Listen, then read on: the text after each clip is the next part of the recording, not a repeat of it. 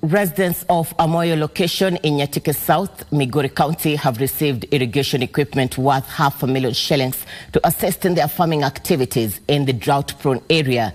The donation by the Tulu Safari Bado self-help group is expected to bring some much-needed relief to the locals who have endured years of poor crop yield due to perennial drought. The Migori County government has pledged to assist with the installation and maintenance of the equipment.